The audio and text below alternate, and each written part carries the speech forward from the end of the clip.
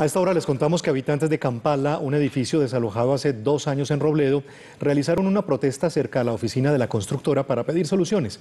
Son 72 familias que invirtieron todo en sus apartamentos y hoy no pueden vivir en ellos.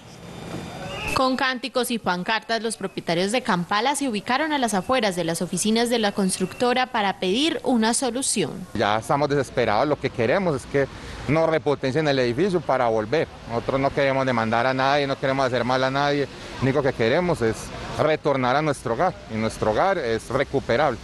Han evadido, eh, han dilatado el tema de, la licencia de construcción, eh, no le han colaborado a esas personas, a ninguno le han dado un peso para eh, sufragar los gastos de arrendamiento, ni siquiera para gastos de trasteo. El edificio se puede repotenciar, pero la constructora no da una respuesta. La pregunta que se ha hecho siempre es, ¿dónde están los recursos? Y ellos han manifestado que no tienen los recursos, entonces imagínate, o sea, ¿de qué sirve que hagamos trámite de licenciamiento? ¿De qué sirve que, que nos desgastemos si no avisoran ningún tipo de solución efectiva? Si ellos no dicen o no muestran los recursos, pues todo esto se va a perder. En el 2014 el DAGRET hizo observaciones y en el 2019 se identificó el problema estructural. Ya llevan dos años desalojados, piden que se solucione su problema.